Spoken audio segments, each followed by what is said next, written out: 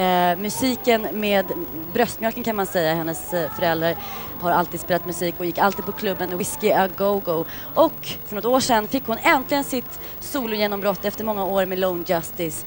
Maria McKee finns på scenen på Hawaii. Här är det, välkommen!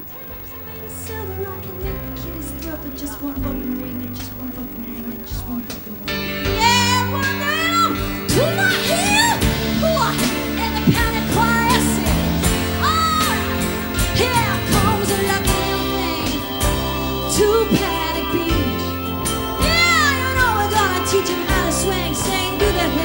stuck up here.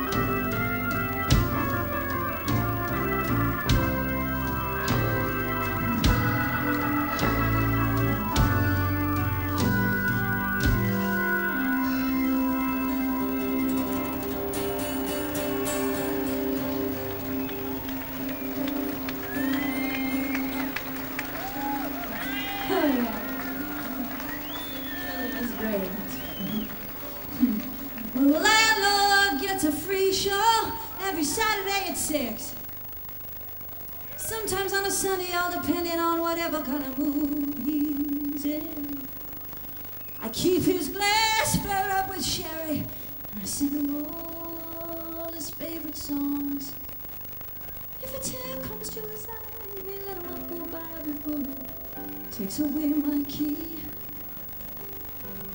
Oh, oh, oh that sherry starts to taste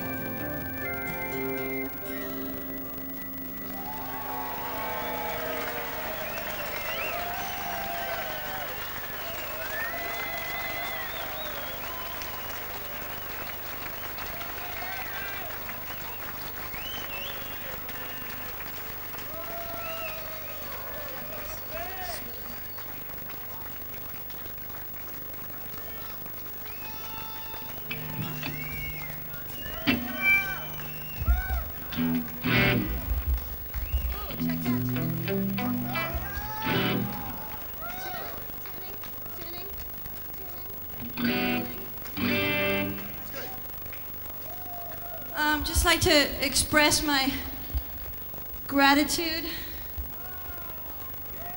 Um, like to thank Motorhead for rocking me very successfully last night.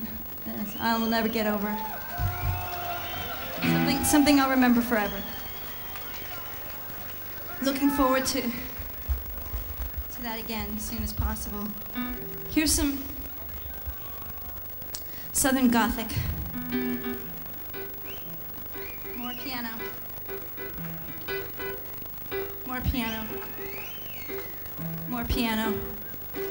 More piano. More piano. More piano. Less piano.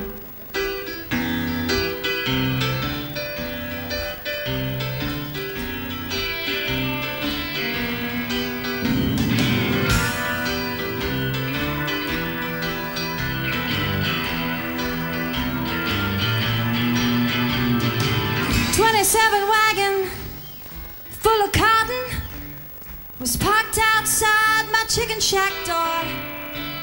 I kept my crib covered up in satin in case my baby came around for more. Now I feel daddy, something's not the same. Cause there's weeds and there's rust and the roof on harbor.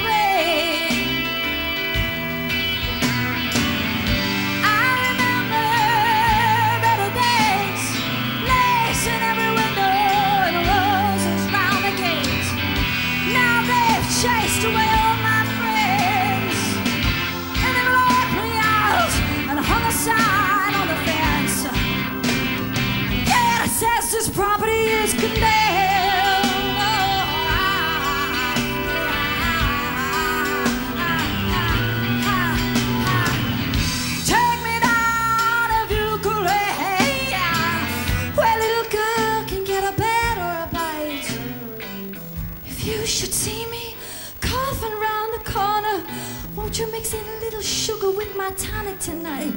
I can feel phantoms moving around my way.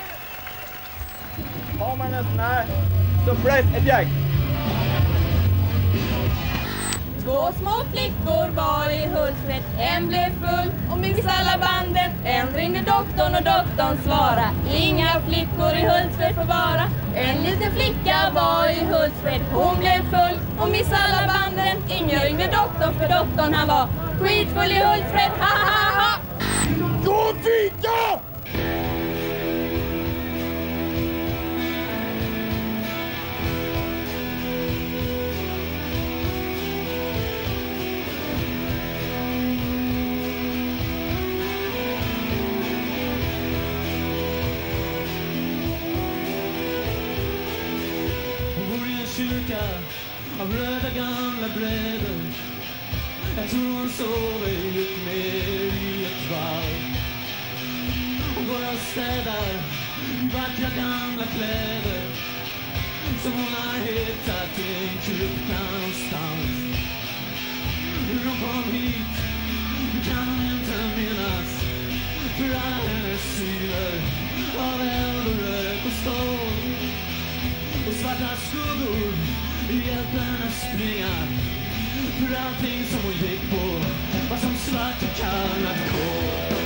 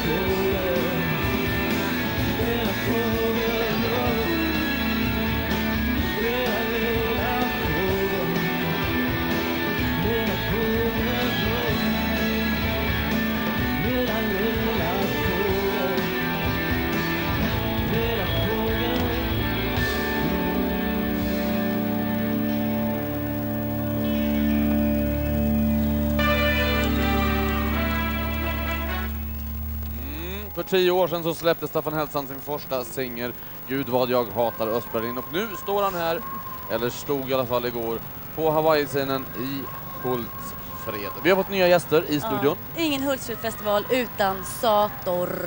Välkomna. Tack. Tack. Tack. Man brukar ju toppa med nyheten mm. och så. Nu finns det en nyhet med Alla har klippt håret utom Micke. Micke Olsson. Mitt ramlade av snart om ett par år eller någonting sånt. Jag Han, har per, han, har, eh, han, har, han, har, han är faktiskt flintis, han har peruk. Jaha. Inte snacka så personliga grejer. Är det, är det, vad, vad krävs för att du ska klippa håret, Micke? Till och med jag har ju gjort det. En sax. Min, storleken på mig och storleken på dem. Liksom. Vi får se om de växer till sig lite grann så kanske de kan övermanna mig och klippa mig. Okej, okej. Kom igen, Vi ska ta den mörkgränd. I mörkret ja. Då ser ni mig inte. Om vi ska lämna hår och återgå till festival, hur många gånger har Sator uppträtt på festivalen? Under eget eller annat namn? Nästan alla. Åtta gånger. Alla utom eh. En gång. en gång, 87. Det var det året då det gick Då back spelar vi va? på sätt och vis, jag och Micke var här i alla fall och spelade Allan. Okej. det, här, det här året har ni valt att ta med några kompisar, varför? Nej, vi fick så oförskämt bra betalt så vi tänkte, vad ska vi... Vi måste göra någonting extra för alla de här smutsiga pengarna vi får. Så vi tog hit några kompisar som heter White Flag från Så USA. de sitter där borta. Doug, Alfie, Say something! Whoa, whoa, whoa, Hey. wait to... come over here! Come over here! De är lite, rädda, de är lite strykrädda sådär. Ja, de är lite... Come over. De kommer nämligen från Los. Angeles, så där är de... Nej, nu kommer de. Se där. Titta! Så ser de ut. You have to use these guys microphones. Det här är Elfie. Yes, that's me. Det här är The, uh, what we know, nu måste vi övergå till engelska då. då. Uh, what we know, we thought that you were, uh, uh, you know, they picked you up because they wanted some, you know, tough guys, because they're so nice, these guys. They wanted to learn something, but I've heard that you come from a small town, you too. Yeah, we're kind of like uh, country people, so uh, that's small town, and uh, that's why I think we get together. That? Basically looked bad day if it's Saturdays and meet with attack, yeah. Okej. I can translate that. Hur många då? He said, okay, school, gammal skall Chips, det var chips. alltså. Du kan hans språk. Ja, ja, det är gibberish heter den. Vad Och- sa han? Han sa att ja, White Flag, de älskar oss och de tycker att vi är världens bästa band och någonting liknande. Att de själva, det är vi som har lärt dem att spela och allting sånt. Precis så. De tror att vi är Ja, rika. vi har skrivit alla deras låtar. Right Jag guys? har, jag har en fråga till er. Varför måste Ja, vara med på varje festival?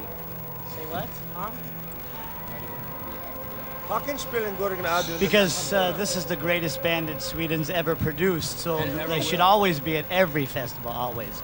Ja, de säger alltså att Sator är ett hyfsat band och det vore ju synd om en... Ja, ungefär så. Tack för att ni kom hit, vad kul! Tack, det är jättekul att vara här. Ni har spelat tidigare, visst? Ja, det har vi. Tycker ni vi ska ta och titta på något från den konserten? Om vi måste så...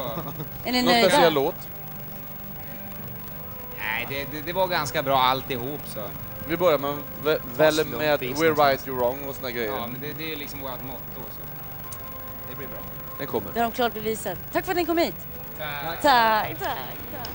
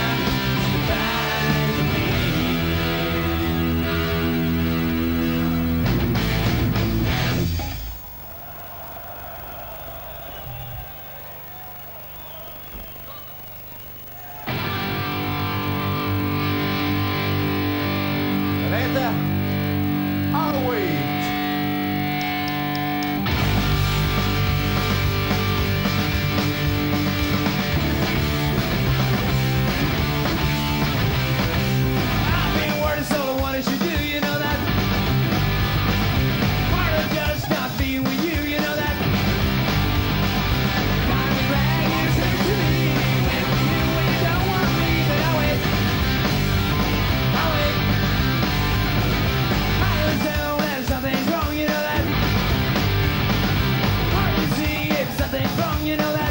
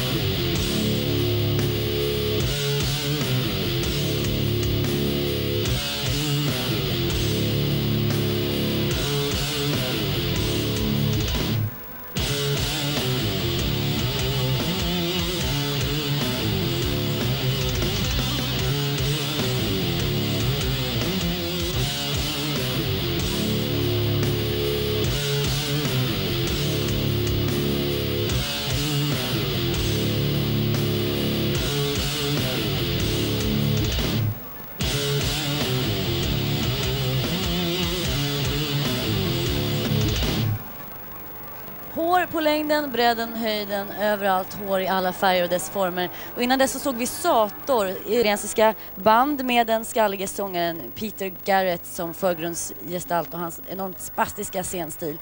De är allting som man ska vara. De är miljömedvetna, de är antirasistiska, de är trendmotståndare och allt annat bra political correct. Men vissa frågar sig, är deras bästa dagar bakom dem? Ja, det kan ni avgöra själva för vi förevigade deras konsert tidigare på Hultsfredsfestivalen ifrån Hawaii.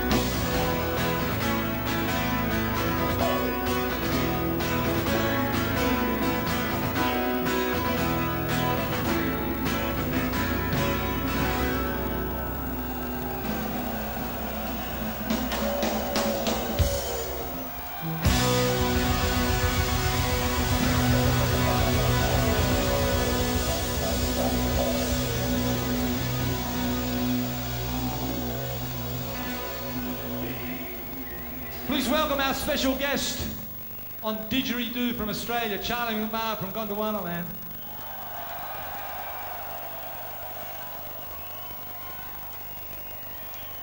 This is one of those nice computer-free instruments. This is a natural instrument that sounds better and better with age. Just like we hope we do. A song about those people that uh, started off in Australia before we did. And there are people everywhere that started off before the people there normally did. And, and it's a song that says for us that really blood colour is more important than skin colour.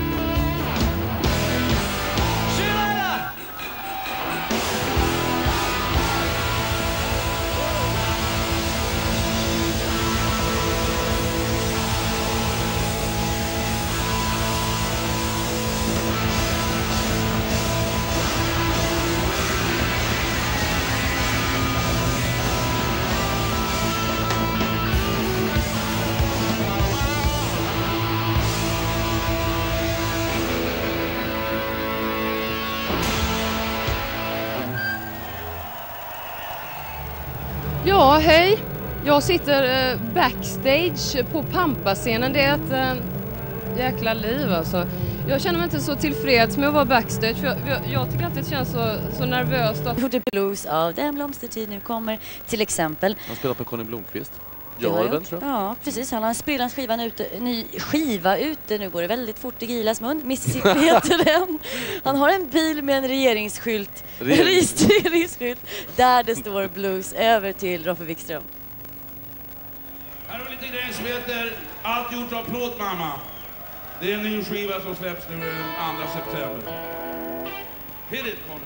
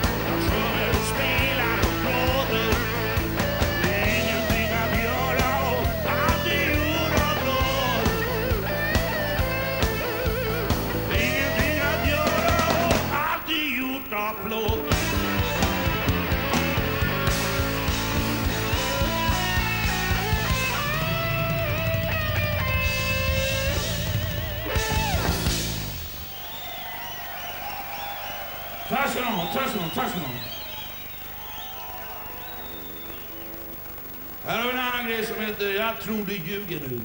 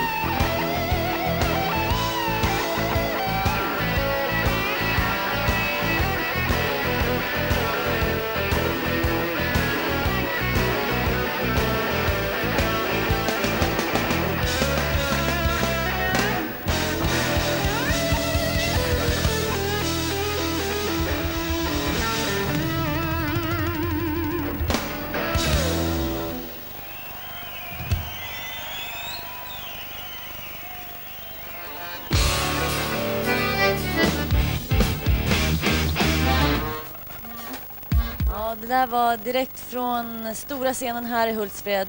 Roffe Wikström, den stora blueshjälten och den uppmärksamma tittaren och lyssnaren såg att Conny Blom ifrån Electric Boys var med och eh, stöttade upp. Verkligen svängde ett gäng, Mm. som det heter. Mer musik. Vad sa du? Som en bonuskonsert i natt var de gäster vi hade för en timme sedan ungefär. Mm. Vilka pratar jag om? Sator, Sator och uh, Witty Flog. Vit flagg. Witty Flog. White White Flag. Ja. Va? Va? Säger Va, bara säger vi? att, Va, det- det är nämligen så att folk pratar i våra öron och då säger de fel, fel, ni är borta. Vi ska gå och se något som många, många har väntat på och många, många har talat om var väldigt bra. Det hände i eh, torsdags. Sa jag någonting obegripligt nu? Nej, det var jag. Vill du jag skrattar översätta? åt mig själv. Nej. Okej. Ehm, Det jo, var lite blurry det, sådär. det handlar alltså om det engelska bandet Blur. Samma namn som eh, en viss tandborste tror jag till och med. och händer och fötter. Jag tror vi lämnar oss här. Jag tror vi går rakt över till torsdagens konsert med Blur.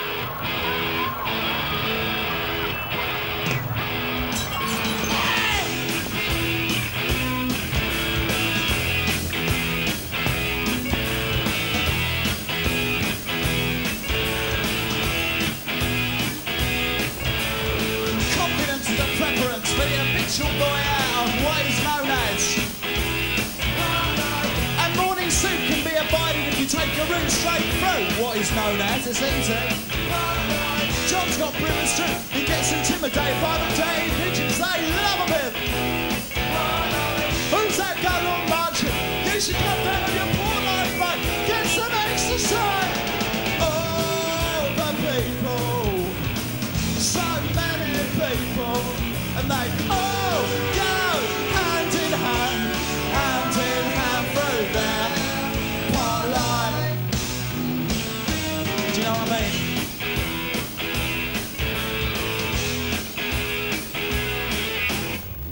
i get up when i want except on Wednesdays when I get rudely awakened by the dustman. I put my trousers on, have a cup of tea, and then I think about leaving the house. I feed the pigeons, I sometimes feed the little sparrows too. It gives me a sense of enormous well-being. And then I'm happy for the rest of the day, safe in the knowledge there will always be a bit of my heart to go to. Goes like this. Oh, the people. So many people. And they all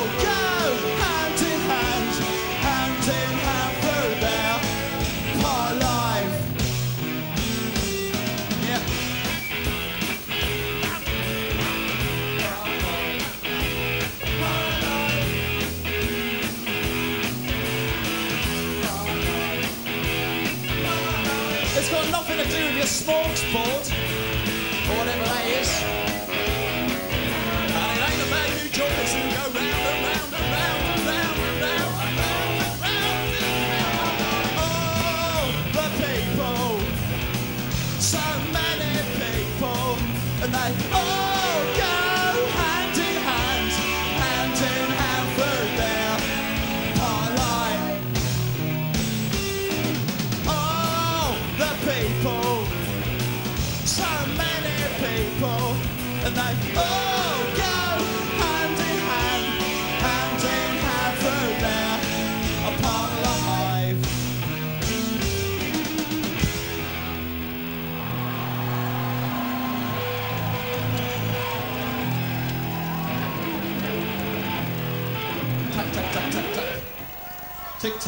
tack, tick tack.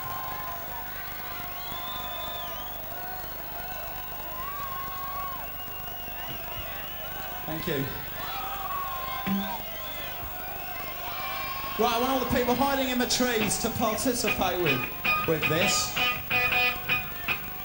This is better than Ace of Base, this one. Much better.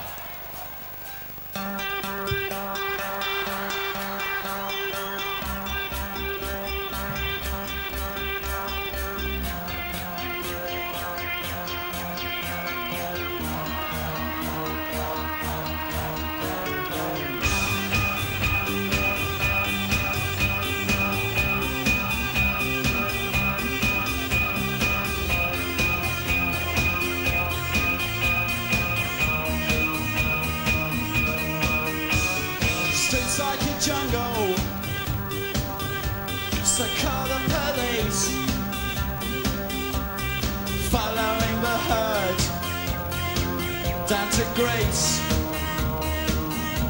On holiday, love in the 90s. Is paranoid.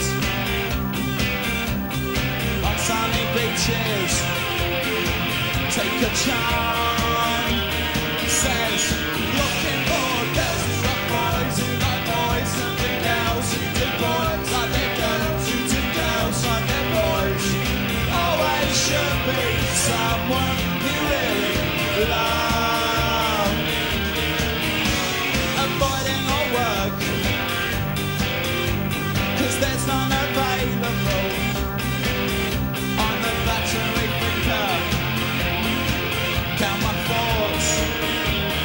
one, two, three, four, five fingers, nothing is wasted.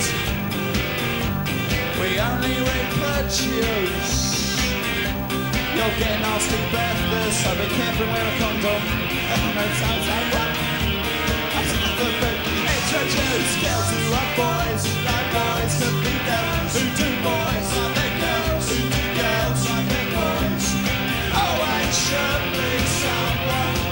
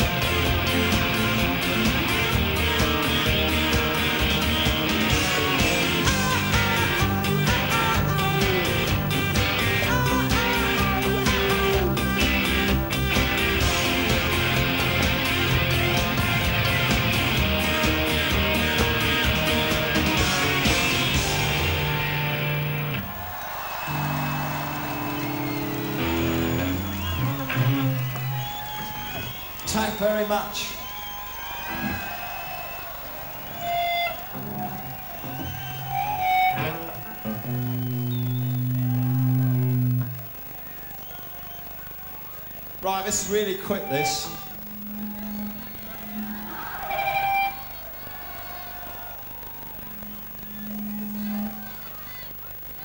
This is um, this is quick. This is very quick. It's called Bank Holiday.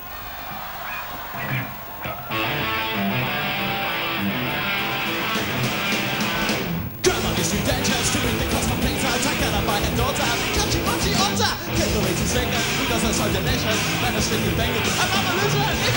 My whole time comes time of year. They don't enjoy it until it's everyone cheer. They all day come and six pack of beer, it's back to work. Yeah.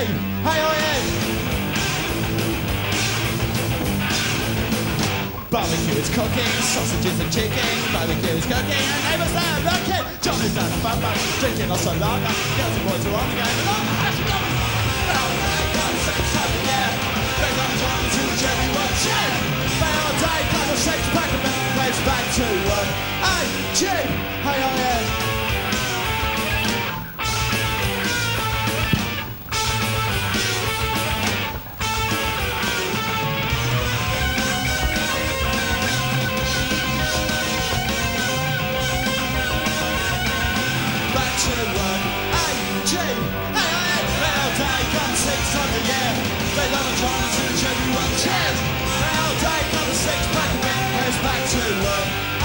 Jay, hey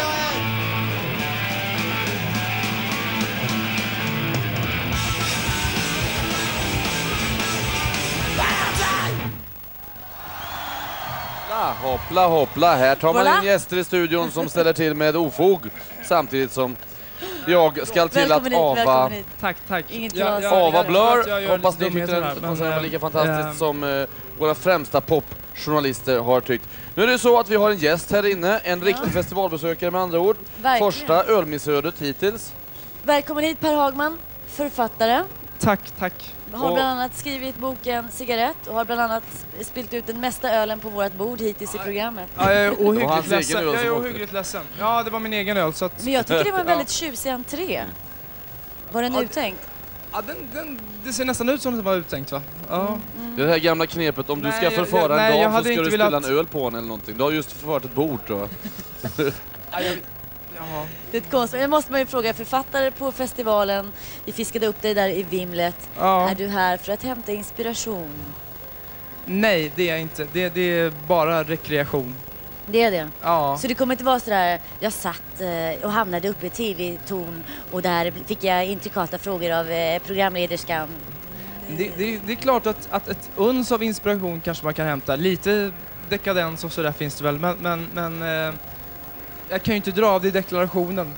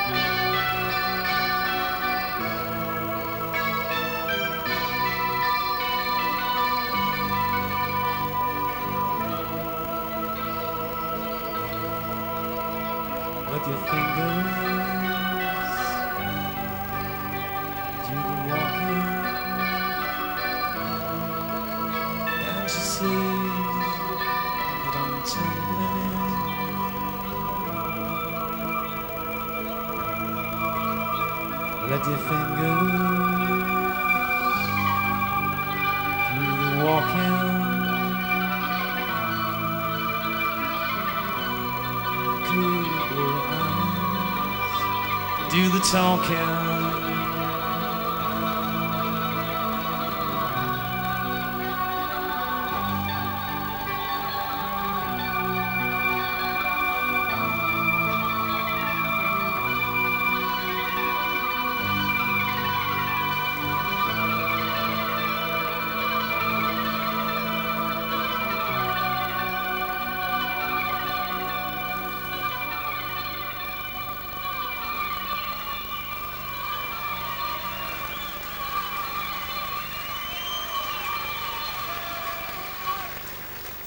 då börjar jag med att snacka om Ja, men skvaller. jag är här nu. Vi är här, rätt in i... Vill du Hör dra du ett mig, skvaller? Jag drar ett skvaller först bara kort, så kommer vi över på backstage, alltså sån... Men du kan dra det nu för alla tittar och lyssnar. Jaha. Välkommen. Så kan det gå ibland. Okej, då ska jag skvallra lite grann nu. Så kan det vara.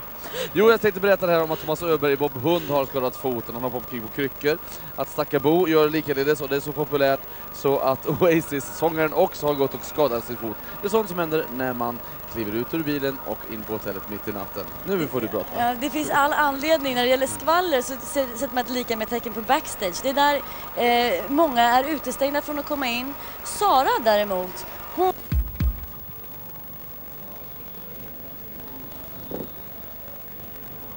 Vill du komma in eller? Ja, det skulle vara mysigt att komma in faktiskt. Jag tycker det verkar gratis öl och så. Men det är inte gratis öl. Ja, ja. Okej, men då, då, nej. Nej men varför skulle du vilja komma in? För att jag, vill, jag vill gärna tacka alla sådana här... Jag har varit på en del sådana här... Ja, men jag vill tacka kändisarna för att de spelar så bra. Men Det det- känns, jag har försökt göra det ett par gånger men de alla kastar mig över staketet bara så åker man ut där så forslas man iväg någonstans. Och det är backstage. Hej, jag är inne på backstageområdet här. Säg till vart du vill gå. Åh herregud. Har vi några kändisar i bakgrunden här? Har ni, har ni sett Blur? Någonstans? Blur? Ja, hur känns det hittills? Är det lite nervöst eller? Nej, jag känner mig lite sådär peppad och det är mycket kändisar och så. Det är... Där går Per Dahlberg från TV. Och det är per... Nej, jag, förlåt, jag, Vi går vidare. Jag, jag försöker hålla mig koncentrerad bara så att... Ja.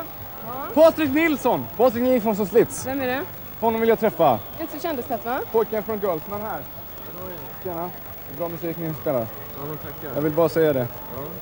Det här är alltså bar, backstagebaren då? Ja, ja. Här ser det ut som det skulle vara väldigt mycket raj-raj. Vi går in där. Ja, jajamensan. Oj då, här var det kul. Hur skulle det vara med en gratis öl? Ja, men eh, okej då. Jag åker liksom ut om två minuter så att jag måste dricka den snabbt i sådana fall. Och det är mellis. Och det är mellanöl. Känns inte det här som en sån där dag där, då alla önskningar blivit uppfyllda? Mm, jo, det känns det verkligen Det var en sak som fattas. Ja, starköl. Nej, jag har nog överdrivit det här lite med backstage. Ska vi ta en sista runda? Innan du... Eh, Innan jag åker ut ja. Okej. Ja, men tack så mycket.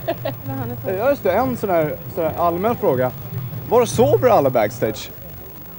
Ja du. Det har jag alltid funderat på. Var fan sover alla? De bor på hotell till exempel. hotell? Mm. Ja, ja. Någon gång. Nu, nu är det dags att gå ut igen. Men snälla. Jag, jag, jag tycker det känns lite jobbigt att säga det men, eh, Ja, vi men- sa ju fem minuter. Jag tror att det har gått nu. Kan vi inte bara smyga bort och så, så går det lite långsammare? Fy fan vad tråkigt. Det här var fan det bästa tiden jag har varit med om här i Fullsäten. Jag träffade inte Patrik Nilsson men det, det är bra i alla fall. Okej alla tittare, så här kul är det alltså backstage va? Nu måste jag gå ut i dräggvimlet och uh, flumma omkring en del. Det är roligare där ute. Ja, det är mycket kulare där ute. Nu ska jag gå ut och ha kul. Hej då! Hej då! Som pressen utnyttjar Hej, det här. hej. Ja, det här är utnyttjning. Ja, hej då.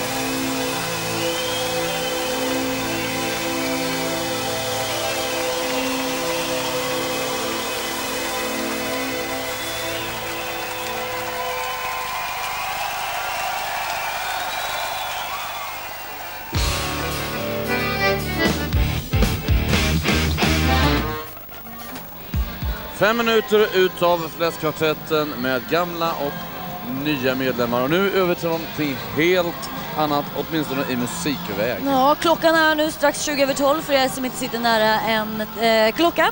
Och eh, bakom oss här, vi har flyttat ut, så kan man höra ett mycket svängigt gäng. Det tycker i alla fall Anders Lokko, Primal Scream, välkommen hit. Det är Tack. världens bästa band, eller hur är det? Ja, det- Egentligen så var de det tills jag såg Oasis för några timmar sedan, om man ska vara väldigt ärlig. Uh, ja, men Primal Scream är ju faktiskt sådär fruktansvärt bra. För de är helt ensamma om det de gör och de gör det så oerhört bra. Och vad är det de gör? Vill du ha den långa eller den korta versionen? Hur lång En, lagom version, så vi har väl några minuter. Okej. ehm, Om jag säger enda- så här, ja. om jag säger så här, ju mer du pratar desto mer kommer du missa av konserten. Oh, ja, det är sant. eh, egentligen så är de bara ett band som har rötterna någonstans i europeisk sådär indie, som det heter.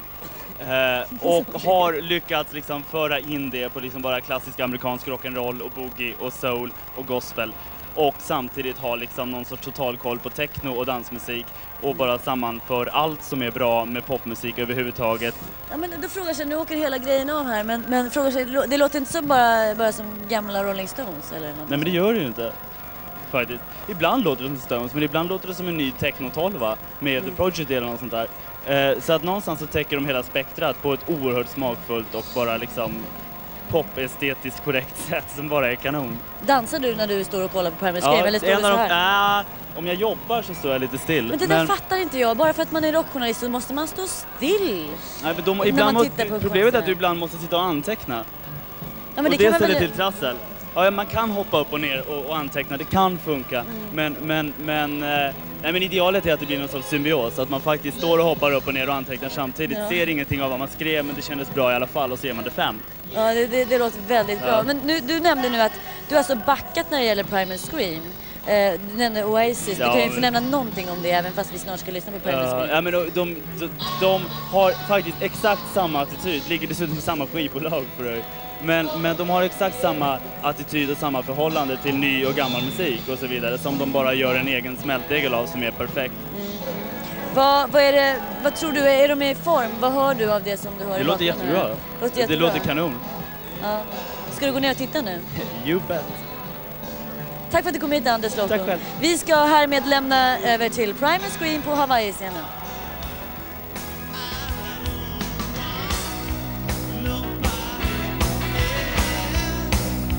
You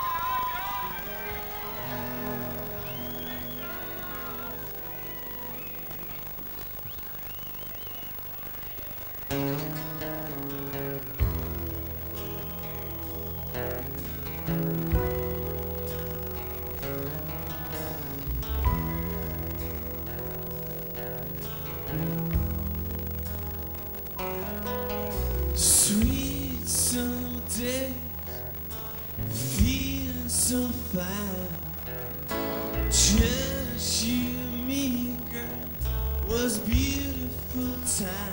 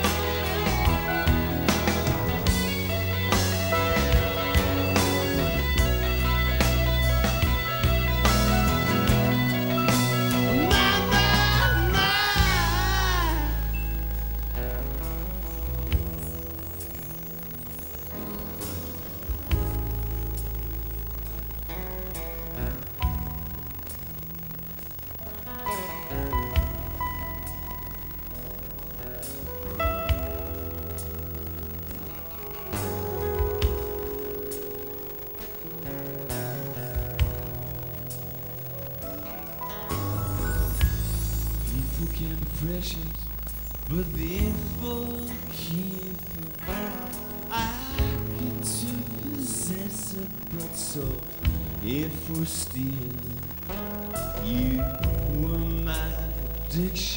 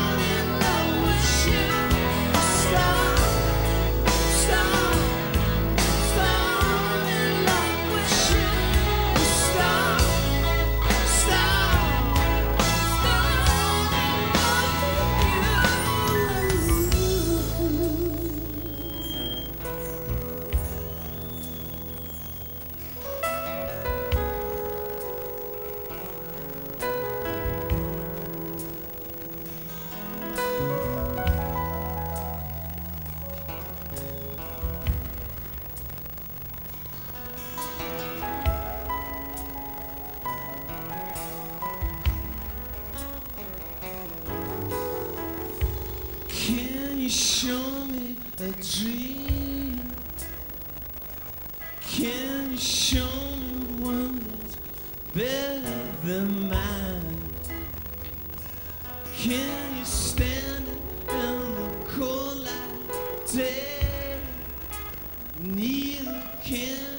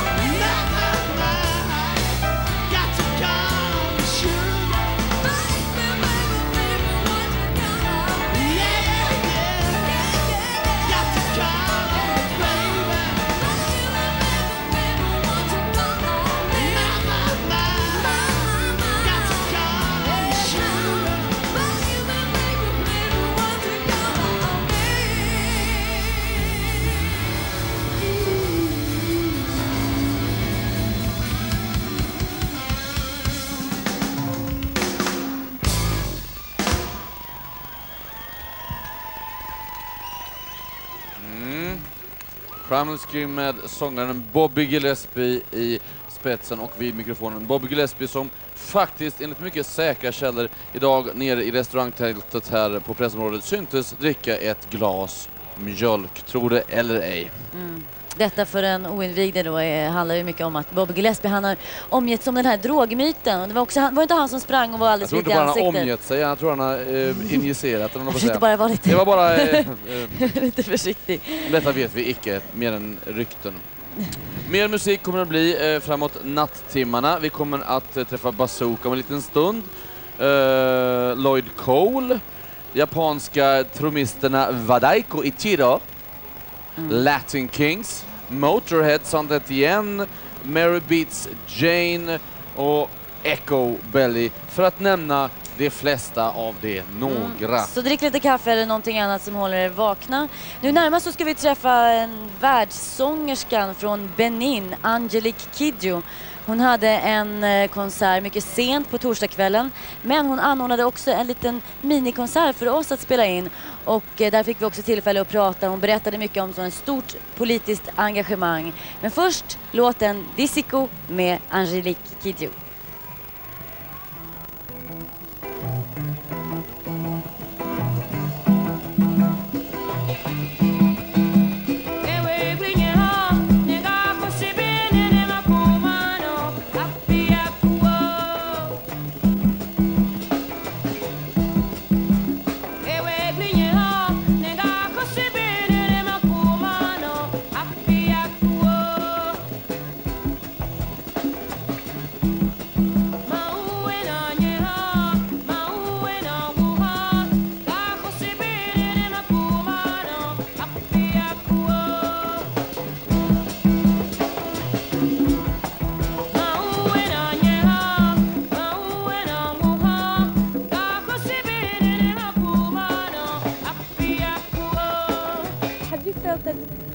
Instance, Swedish audience respond this differently to your concerts than, for instance, in Africa or other places in the world? all the public are different. It's a matter of culture, it's a matter of uh, education, it's a matter of where you come from. So you, you react in the way about what you know, what you have been learning, what you have been hearing. So how is Swedish audience? I like it. They don't understand my language, but they like my music. They come with me, they dance with me, they sing with me. From the beginning of the show till the end, they are, they, they are there. The, the, the, all the audience of Scandinavian people, from Denmark to Swedish to Norway, they are particular because they, they listen with the heart. When you're on stage, you have that feeling that they are listening to your music with their heart, not only with the brains. It's perhaps a wrong impression I have, but that's how I feel it.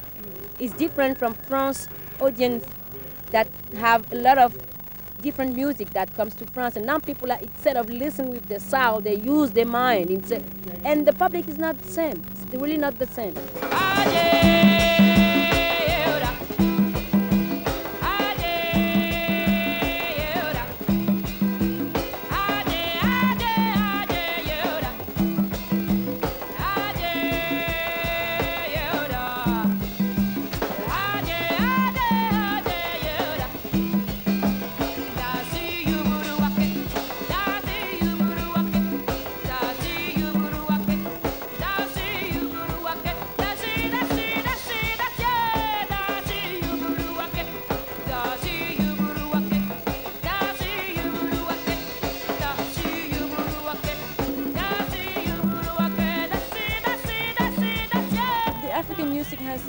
of being very happy and gay and lively. And is there any depressing music coming out of Africa?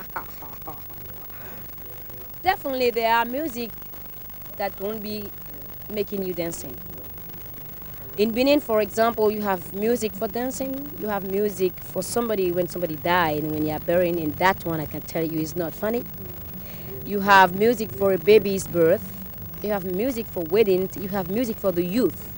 So you have different type of music. You, ca you have music singing that people stand instead of fighting, they, they insult each other by singing. You have different type of way of expressing. Singing is the most important thing in, in, in Benin and in, whole, in this whole continent. That's why kept us a way of being integrist. Because you take it out. And I think that what is happening in Rwanda is a lack of singing.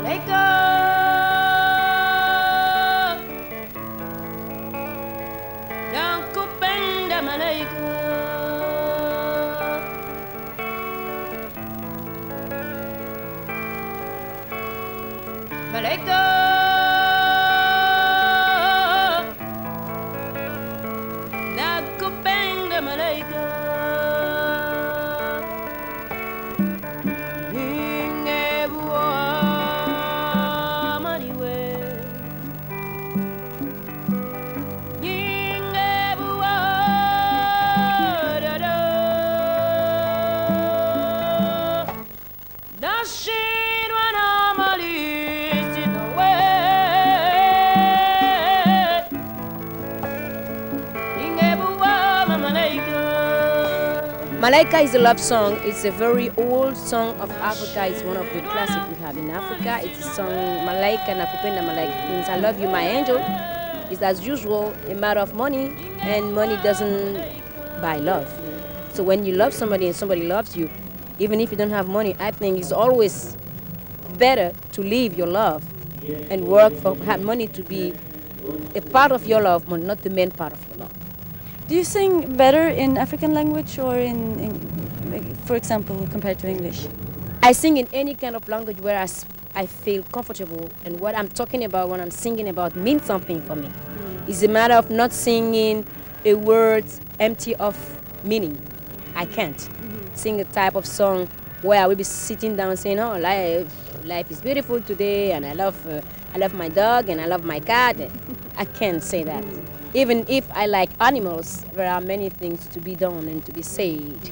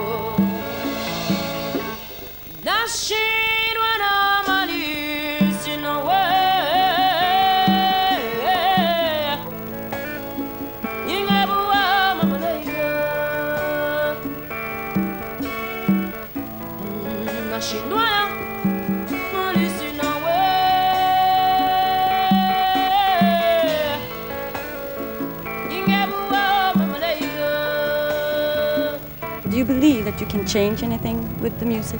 Definitely. Music for me is the best weapon. Never exists because we don't use you don't use violence. You talk to people. Mm. It's even because people by moving their body, dancing, they make the change themselves. Because music has been helping a lot to free Mandela. Music can help to do a lot of things. Why are, why, why are we gonna do different kind of concert to get money to go help people in Rwanda? Music is about that. Because we are there to do that.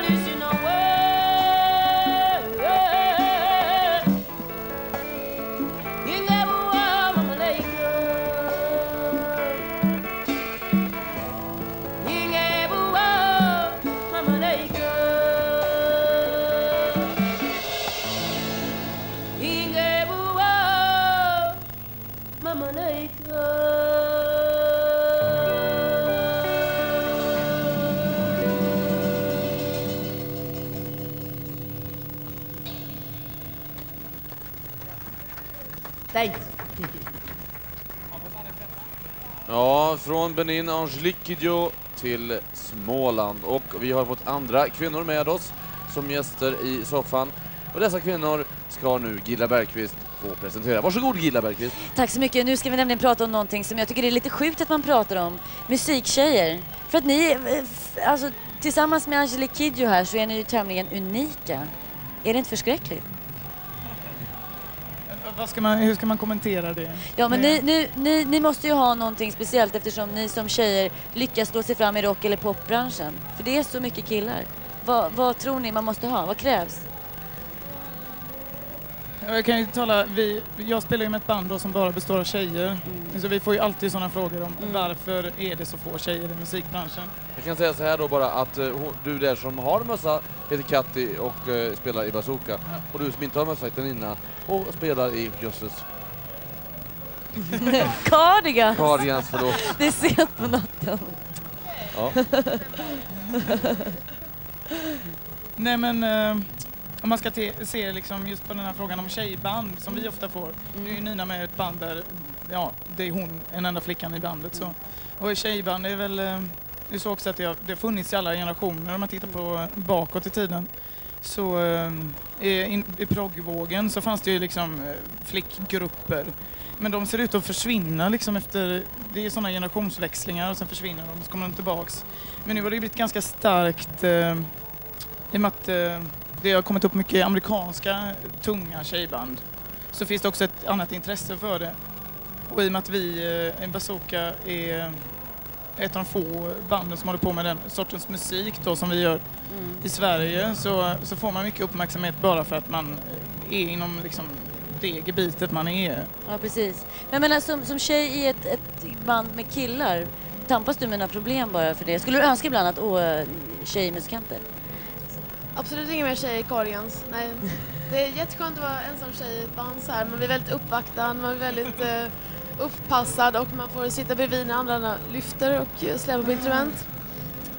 Men jag, jag ser inte mig själv som en tjej i ett killband så här, utan det är liksom, Cardigans är ett väldigt kollektivt band och jag är en del av Cardigans så det är liksom, jag tror att jag är lika grabbig som killarna är egentligen så här så att det så egentligen existerar inte det här. Egentligen så borde det vara liksom 50-50, 60-40 egentligen, eller 40 eh, med, med, med tjejband. Men om vi lämnar det ämnet, det, det är ju uppenbart, vi, liksom, det där kan vi lämna. Det är självklart mer tjejer så. Det är konstigt att det inte finns fler här. Men ehm, vad... Men man, naturligt sett också så är det ju så att det är alltid lättare för tjejer att komma fram som sångerskor. Ja. Eh, För att där finns det liksom en eh, tradition eller efterfrågan eller vad sjutton som helst. Liksom. Jag svor inte.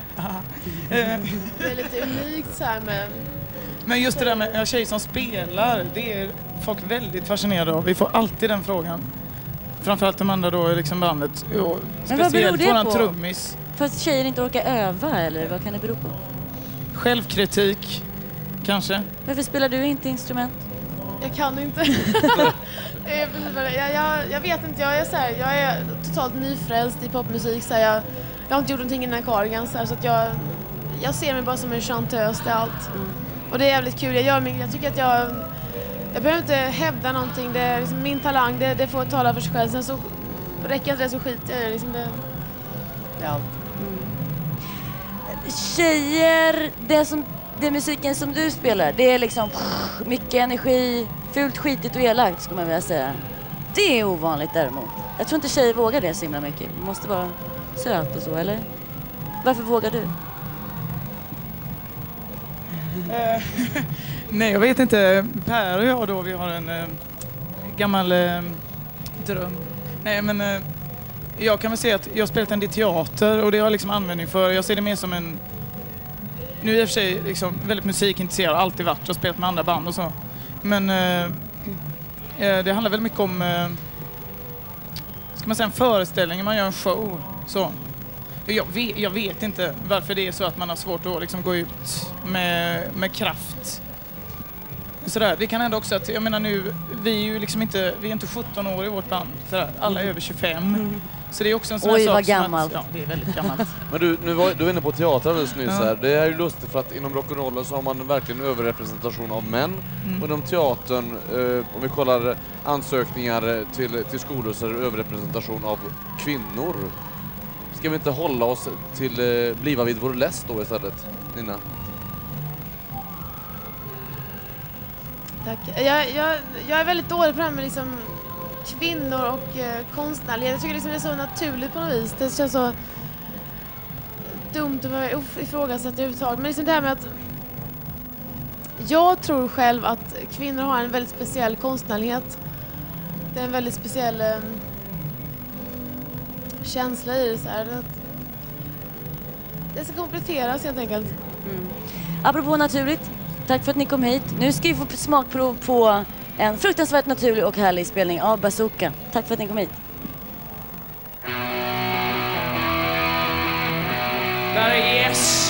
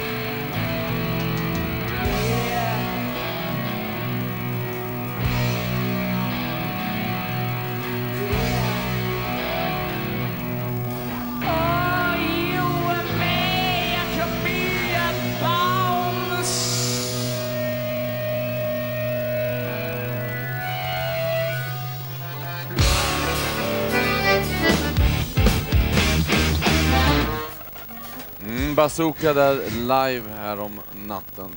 Men vi, vi, vi, måste bara säga att vi befinner oss alltså i en live-direktsändning ifrån Hultsfredsfestivalen. Jag tänkte man måste liksom som om tala om någon för skulle ha folk. missat det. Inte du Vet inte, någon som kom in, kanske kom hem från jobbet så här sent eller kom hem från. Hultsfredsfestivalen, 21 000 besökare, nionde året i rad som den hålls. Mm. Den här direktsändningen kommer att hålla på ungefär sex timmar. Vi befinner oss någonstans efter mitten. Och då, kära Gilla Bergqvist, ska jag berätta om någon av alla dessa 3200 funktionärer som är med och eh, arbetar för att festivalen överhuvudtaget ska kunna fungera. De flesta jobbar alldeles gratis, helt ideellt. De flesta är ifrån Hultsfred eller med omnejd. Tja, låt mig inte tjata mera. Ta en titt istället på det här.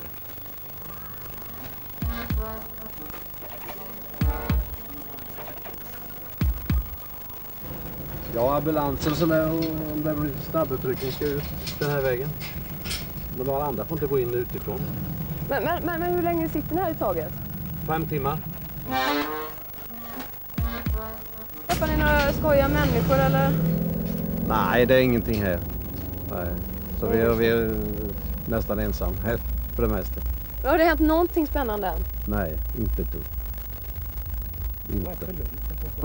Inga, inga fulla ungdomar ens? Nej, jag har inte sett, jag har inte sett någon med tuppkam heller. Här sitter ni och... Ja, grindvakter. Grindvakter? Ja. Ni, ni, alltså, vad är själva arbetsuppgiften nu? Och kolla så att de har rätt armband som kommer in hit. Har de alltid det? Ja, har de. Hur är det på natten att sitta här och vakta? Ja, det är klart då är det jobbigare, men då har vi ficklampor. Vi går fram och tillbaka hela vägen här. Och så bort till husvagnen där. Till, till grinden där borta. Va? I flera timmar, fram och tillbaka? Fram och tillbaka, ja. Så vidare oss lite ibland, tar ett plås och tittar lite på omgivningen här. Men, men, men ni går oftast själva då? Vi går varsin sträcka. Alltså här är min kollega. Va? Han går ena hållet och jag går åt det här hållet. Va? Sen alternerar så byter vi liksom. Va? Så det blir lite jämnt spel. Vad, vad tänker man på när man går här och vaktar? Att passen ska ta slut så man får åka hem. Vilka är det som får komma in där? Ja, det är artister och sen är det ambulans och polis. Men det är inte så ofta ni får liksom hissa upp den där Nej, bommen va? nej. Hur ofta ungefär? ja. ja. men är det liksom fem gånger i timmen eller är det, är det liksom 25 gånger i timmen? 25 gånger i timmen är Får jag pröva en gång? Ja. Det är alltså så här då. Jaha. Hela dagen? Ja, nästan. Eh, Slåss ni om det här jobbet? Nej.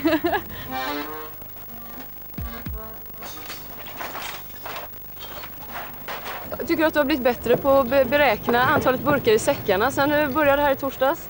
Jag vet hur de luktar i alla fall kan jag säga. Hur luktar de?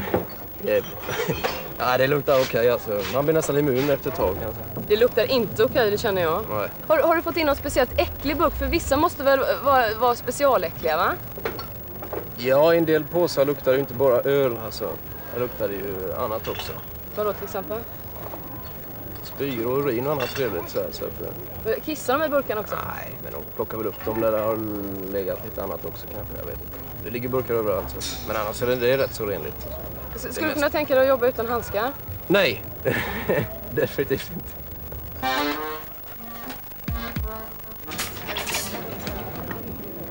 Håller du på med här? Städa. Är det kul? Ja. Är det kul? Ja.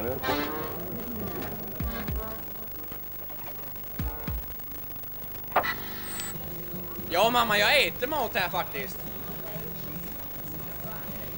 Det här är min bror. Han hatar den här kapseln. Ah, Nej, du får inte...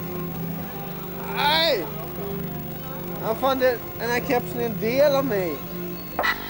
Jag syns! Sinnet som betalar kalhyggen! Mm, vi är tillbaka här i tornet under festivalen. Klockan är nu fem över ett ungefär. Eh, ni kommer att kunna se Lloyd Cole, ni kommer att kunna se Motorhead, Saint Etienne och alldeles strax Latin Kings. Men nu någonting för alla er som kanske känner, trots att det är fest och glam och stoj och alla ser ut att ha så himla roligt, så kanske man känner sig lite ensam och då finns snälla syster Sara. Oh,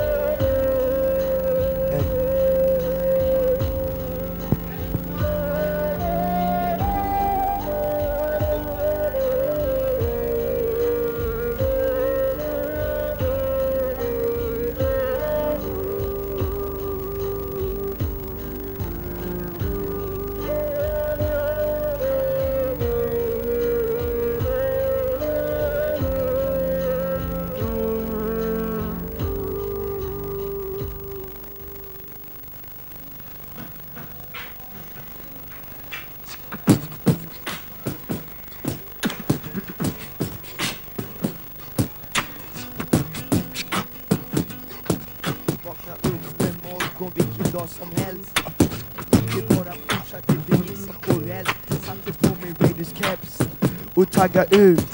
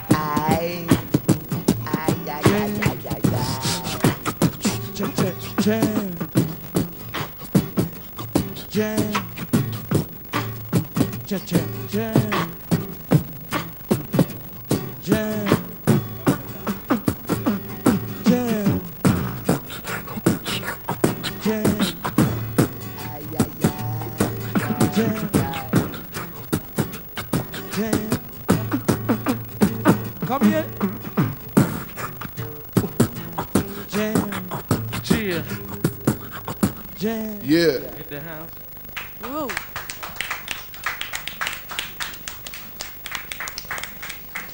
Mm. Latin från, Kings. Från Latin Kings till någonting långt därifrån. Nämligen en herre ifrån de brittiska öarna.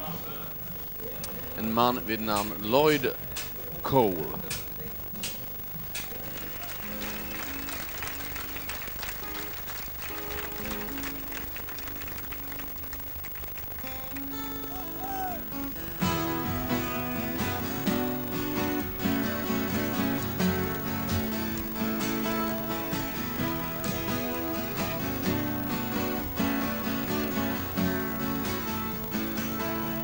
Was looking for a rhyme for the New York Times when I sensed I was not alone. She said, Do you know how to spell audaciously? I could tell I was in love. So I forced a smile contrary to my style And she looked into my eyes She said, do you want to go to heaven? Or would you rather stay alive? Here comes my train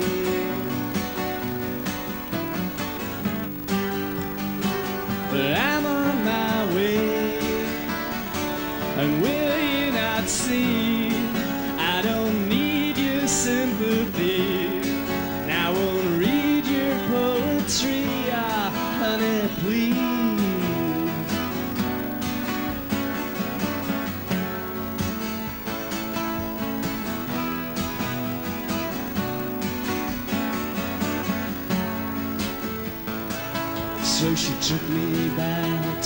basement flat Which shoots down on Charlotte Street.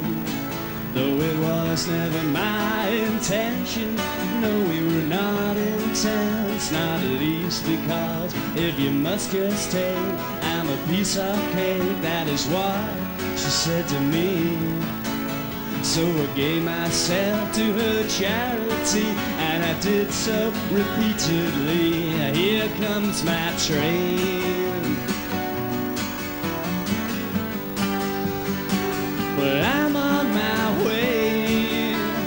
What got into me I don't need your sympathy Now won't read your poetry Or bittersweet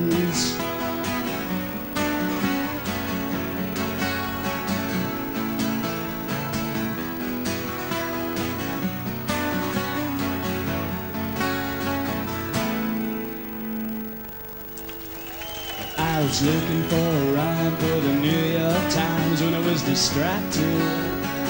Yes, indeed, these were precious times together that we wasted.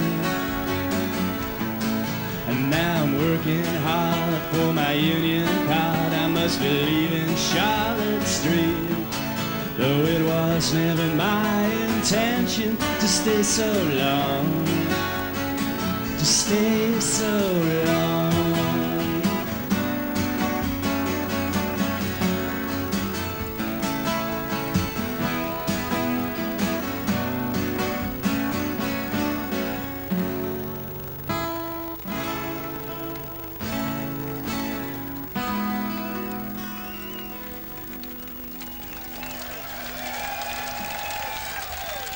Thank you very much.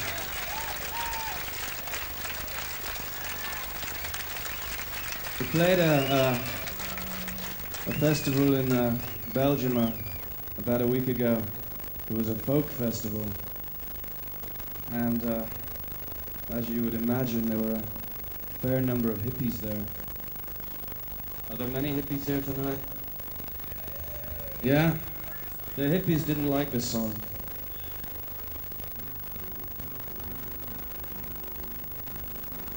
So you'd like to save the world? Well, I suggest that you take one person at a time and start with me. Not an ordinary girl. Not someone that I should hit upon and ask you what your sign be. Have you been reading my Nothing more or less terrestrial. Could I keep you in mind? Did you really cry? When you saw the hole in the sky? Did you really hold your head and hide your eyes? That's alright. You might call it ultraviolet radiation. It's only sunlight.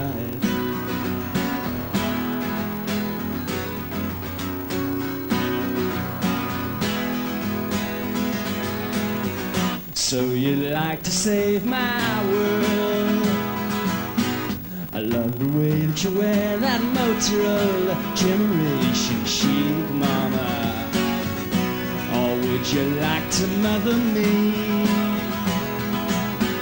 If you could free my inner child, you know I'd free your inhibitions, baby. Have you been reading? What did you find? Nothing more or less terrestrial. Could I keep you in mind? Did you really cry when you saw the hole in the sky? Did you really hold your head and hide your eyes? That's alright. You could call it ultraviolet radiation. And if you'd like to save the world, I'd really like to help you.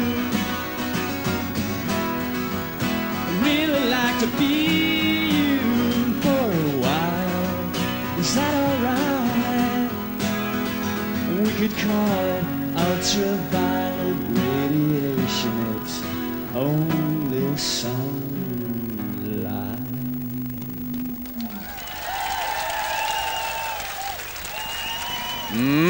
Soft Lo- Lloyd Cole. Lloyd Cole, det passar alldeles utmärkt så här när natten är kommen. Mm, Fast han spelade lite tidigare idag, som ni kanske såg. Det var ljust och så. Nu är det mörkt.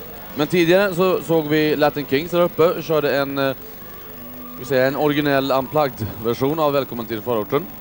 Eh, Det är ju så att vi berättade tidigare i sändningen, för er som har nyss kommit in, att eh, här nere på fotbollsplanen som ligger alldeles intill festivalplatsen så pågick det eh, en fotbollsmatch. Och um, när det dag som dog, lag som Dogge i Latin Kings låg under med 3-0, då um, klev Dogge av plan. Så det med det.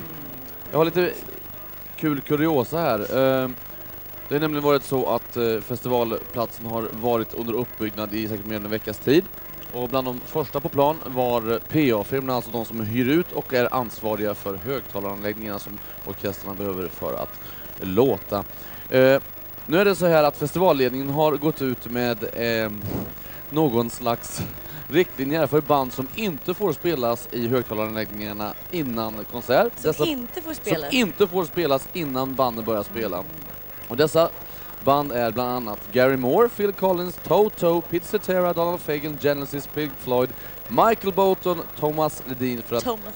Thomas Ledin för att nämna några. Anders Glenmark och eh, Niklas Strömstedt står även med på den här svartlistan. Allt som är så här We Are The World också? Allt som är sånt We Are The World och samt alla danska kvinnors fonogramproduktion är eh, portad, ja, låter något internt det där men det finns väl någon Det grund var alltså till det. festivalledningen som har gått ut med det här, inte vi. Okej, jag hoppas att de har eh, lyssnat på dessa killars råd.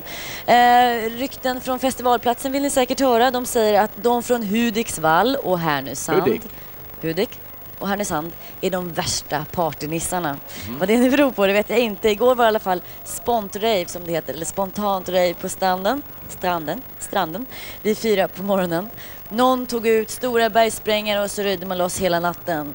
Och eh, man frågar sig då hur blir det nu ikväll, i natt, imorgon? Ja, snart. Herregud, klockan halv två. Det är världens liv nere vid Hawaii-scenen ju- just nu. Det är det. Man det ser- jag ser världens liv. Jag skulle överallt. vinka till alla som är- Där nere har vi lite liv det här. Vi vinkar till Ser ni er. det? Vi säger, hej, hej! Kan vi få en hej! bild på er? Tjena, tjena. Jag tror att det är svårt. Man ser där. Detta Där är, det, det. oj, Oh. någonstans där nere kan ni se att det står folk. Ja. Kanske en Detta är verkligen en förtappad generation som väljer att titta på oss på TV istället för att gå ut och rocka framför scenerna. Nog om det, vi ska ge oss in på lite utländsk kultur. Ja, för förra året så tog de hit två såna här taiko-trummisar. Och det gick så väldigt bra så att i år tog man hit 12 stycken. Ni ska få se dem här.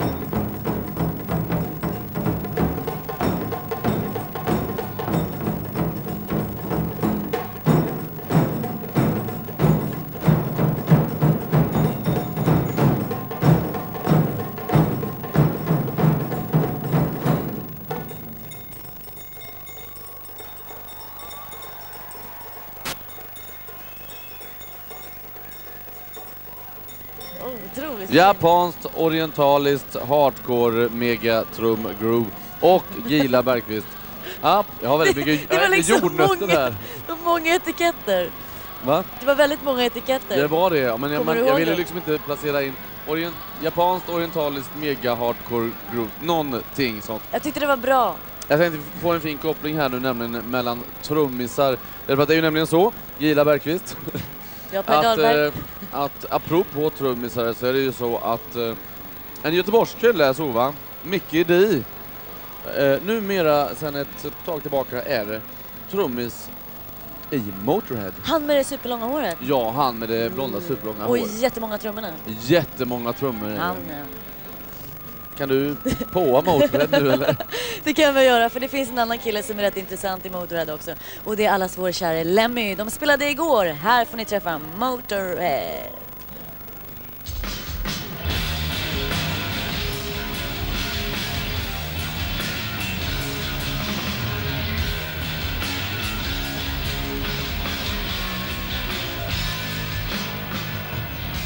I am a drifter on a hungry,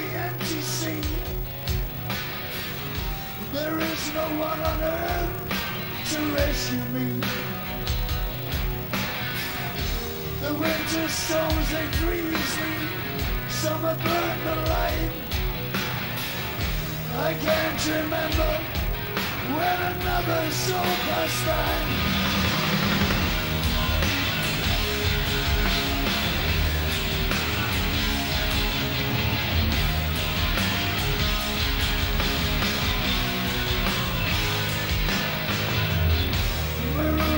On the islands of the. There is no one on earth to take my hand. There is no voice to speak, no soul for company. The sun goes down like blood into the western sea.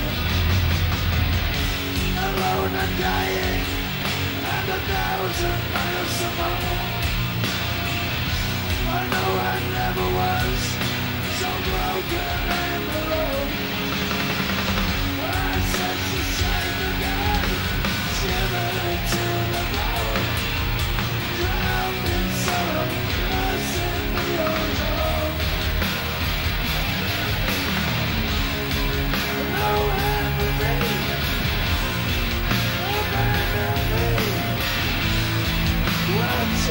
over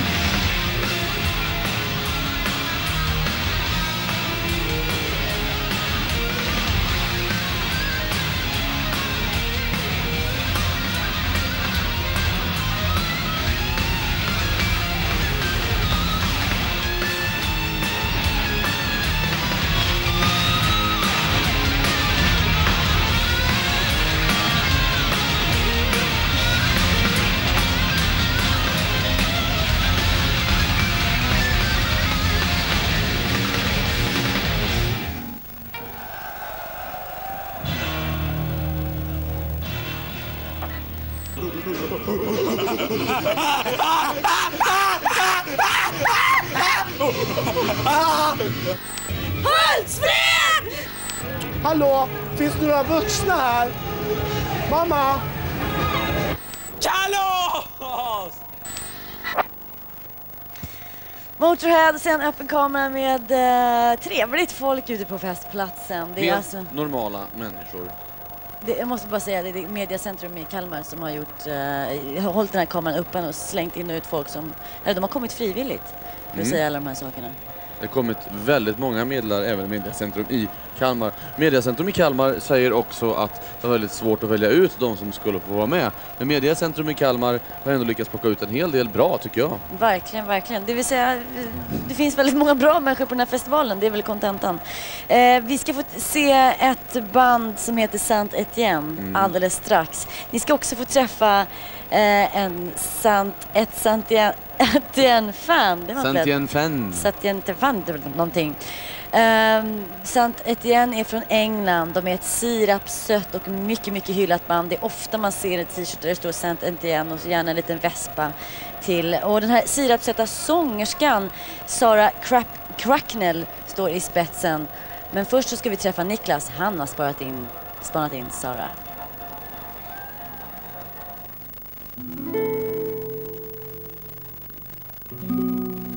Ja, jag kan bara säga vacker. Ja. Eh, Hon är inte söt, hon är inte snygg, men hon är vacker. Det är där det ligger. Och vackra flickor brukar man aldrig få. För att eh, vackra flickor, det är ouppnåeligt. Det är, det är sådana man tittar på bara. Det är så det är. Men söta och snygga flickor, det är helt okej. Det får man. Men eh, Sarah, är hon ouppnåelig? Ja, jag är ju lite skeptisk på det här planet för att det... Det såg ju faktiskt ut, inte för att skryta här nu kanske men eh, det såg ut som att hon spanade in mig och det har jag vittne på.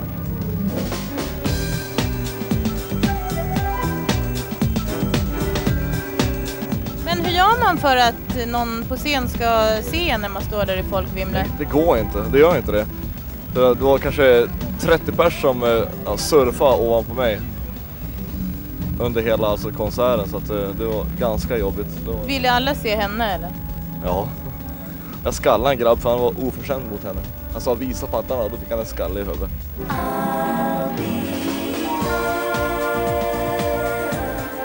Men vad är det som är speciellt med Sarah? Men det finns ju rätt mycket sångerskor. Tjejer. Ja, det finns det men eh, jag kan inte säga något. Liksom, det är hennes sångröst, det är mycket texter också. Vad de, alltså hen, eller musiken och Helene har fått en helt annan betydelse just nu. Men jag menar, med de texterna, det är mycket kärlek där. Det är det.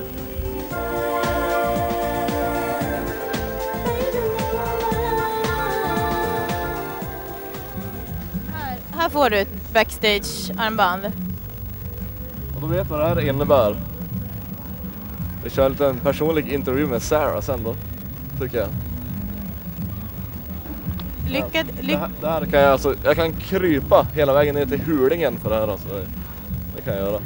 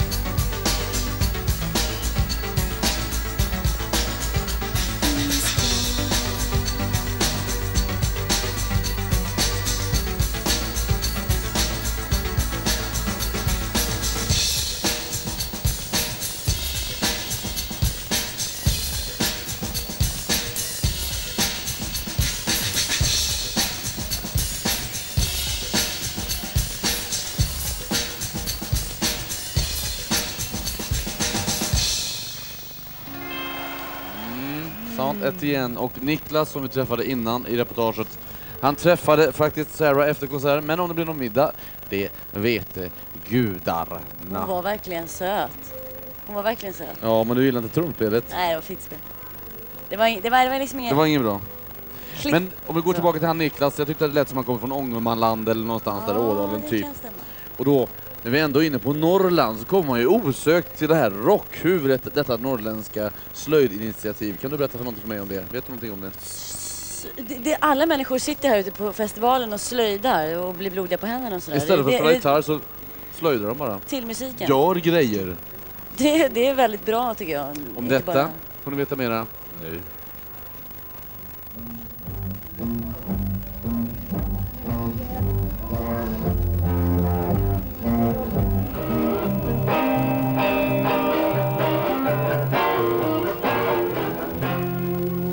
Har rock'n'roll och slöjd gemensamt?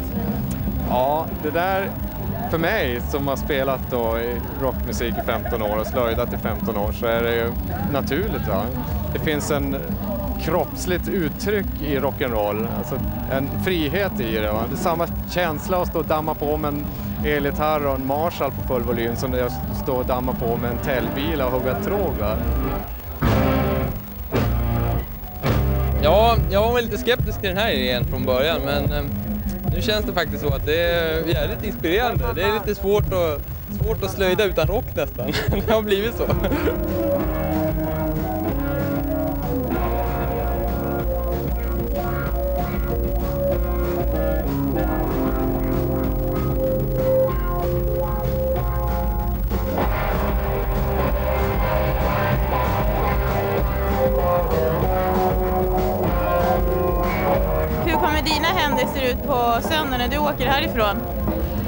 Vi har dragit igenom den här föreställningen ungefär 20 gånger så det ska nog inte vara någon fara med tre gånger till.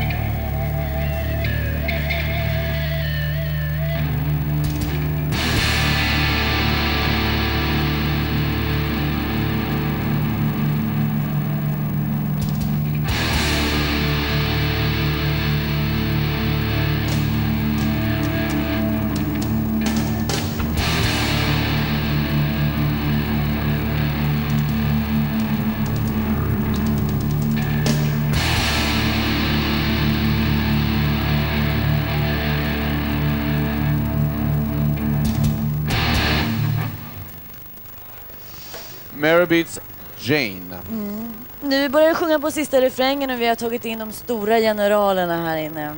Välkomna hit, Håkan Waxegård. Tack. Gunnar Lagerman. Och- Och Per Alexandersson. Det är ni som är skyldiga till det här. Hur känns det nu? Det blir lite fotboll, vet du. Hur känns det? Det känns jättebra. Nej men det är, det är rätt skönt. Det är bara ja, det är ett par timmar kvar till festivalen så kan jag få gå och lägga sig och sova några extra timmar i natt. Det känns ju alltid bra, eller hur? Det känns faktiskt kanonbra här. Ja.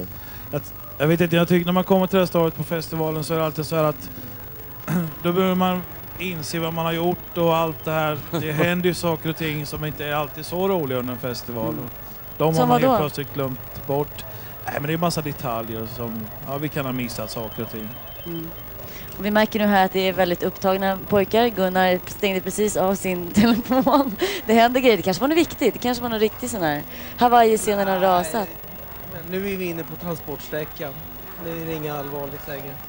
Sen, sen ett par timmar tillbaka så är det ingenting som vi kan göra längre utan allting rullar på. Man, alla funktionärer har full kontroll. Jag menar vi kan inte göra någonting. Allting rullar på.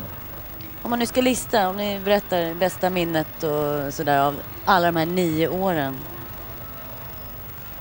Så man ska sammanfatta nio år. Förlåt. Nej, Eh, om du kommer det första du kommer att tänka på. Bästa minnet från en festival. Ja, jag har ett väldigt roligt kort minne. Så 89 vi gjorde Van Morrison och Gunnar och jag fick träffa turnéledaren för Van Morrison och vi skulle då äntligen få träffa Van Morrison också personligen.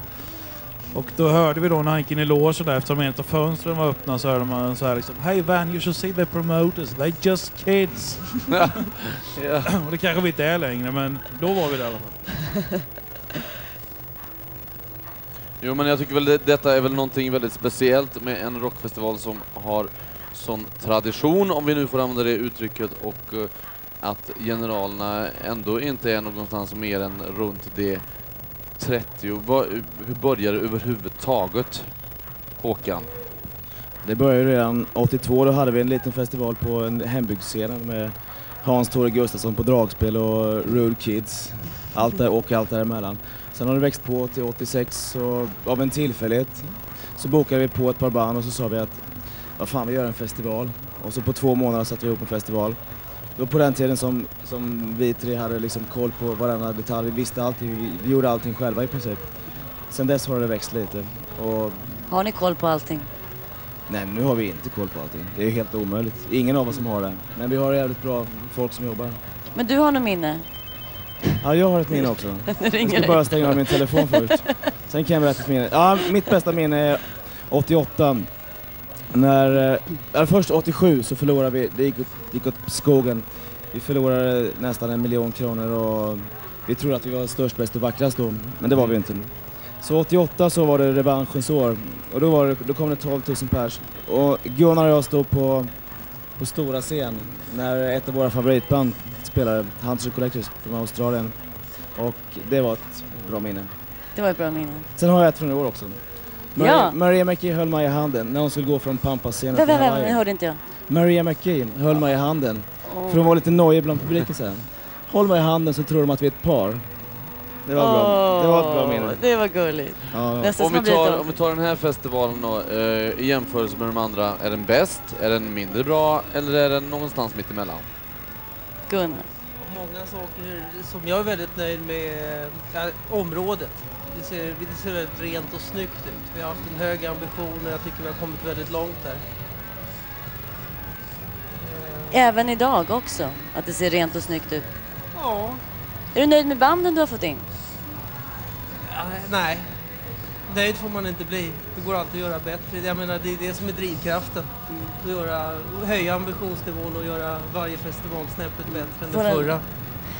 Vad blir det nu för band nästa år? Önske, ska vi säga önskelistan. Tre, de tre band ni helst vill ha till festivalen 1995. Håll mickarna nära nu. De har inte släppt sina skivor än. De skivorna kommer i vinter någon gång. Nej, men om vi säger så här nu. Ja, det band ni helst kan skulle vilja spela?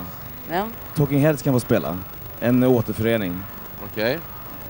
Okej, Neil Young då? Ja, Jag håller med på Neil Young. Jag får gärna köra Motörhead en gång till tycker jag. Pantera. Fast Putte som inte är här, jag måste föra hans talan också. Putte är en av grabbarna också. Han vill höra ABBA. Han vill höra ABBA. Vi får väl hoppas på ABBA till Hultsfredsfestivalen 1995. Tack för att ni kom hit, det var inte så långt att gå för er. Mm, tack för att ni gör festival. Ja, tack för det. Mm, ja, hälsa. hälsa. Till min dotter Mikaela. Åh, det är Min dotter Julia då?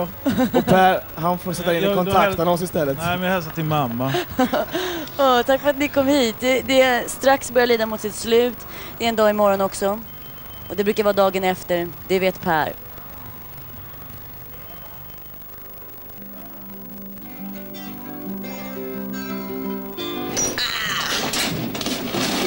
Grindarna öppnas. En ny dag på Hultsfredsfestivalen har just begynt. Vad sa du? Fem container. Fem containrar sopor så här och klockan är inte ens nio. Nej, mer blir det. Här står jag på den av armén nyinrättade pontonbron på väg bort till campingen där folk just har börjat stiga upp. Kom.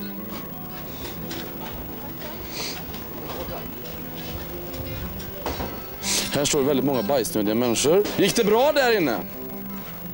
Jo, det gick skitbra. Det gick skitbra. Mm, det luktar jättegott faktiskt. Jag trodde det var duscharna. Besviken. Hur var eh, natten då? Bra. Fått sova? Mm. Ja. Finns det en tanke med matchningen på tandborsten och håret? Nej. Men det är snyggt. Ja, ja det gör du snyggt. Du ser morgonsnygg ut. Ja, tack. Det är jag säkert. Det brukar jag göra. Har det varit en bra natt?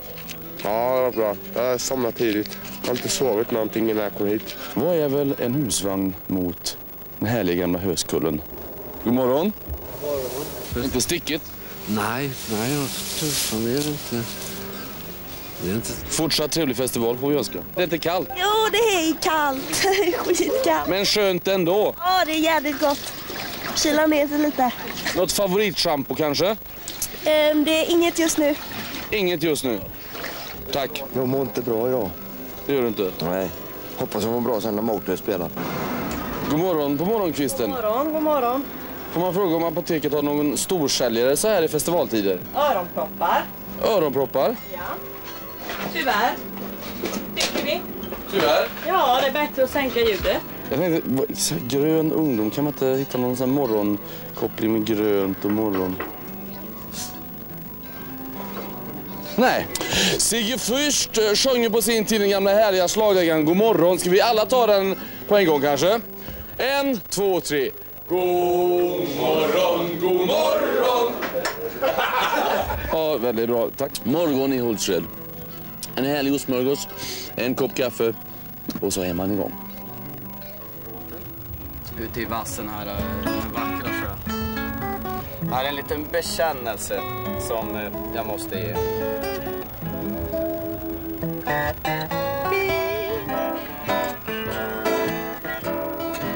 Tycker du jag verkar trevlig? Har jag charmat dig ikväll?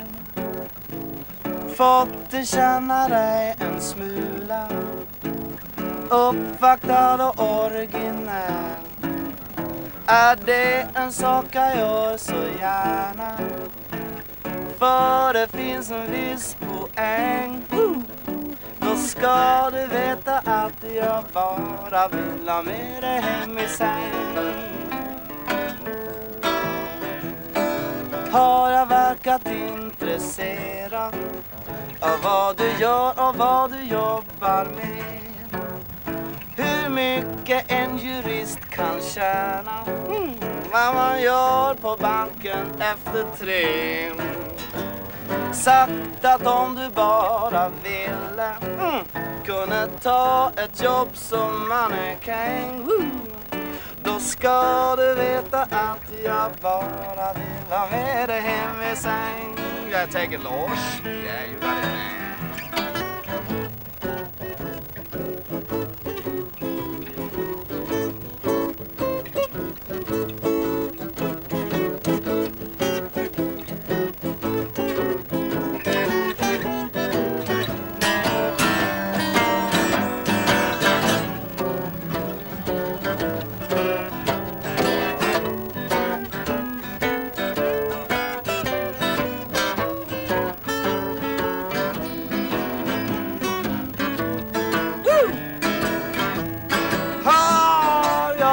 försökt att imponera.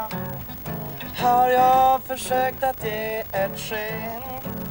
Att jag skulle kunna introducera dig till halva Hultsfreds nöjesscen Har jag nästan kunnat lova att ta ditt namn i någon refräng? Då ska du veta att jag bara vill ha med dig hem Då ska du veta att jag bara vill ha med dig hem Då ska du veta att jag bara vill ha med dig hem i säng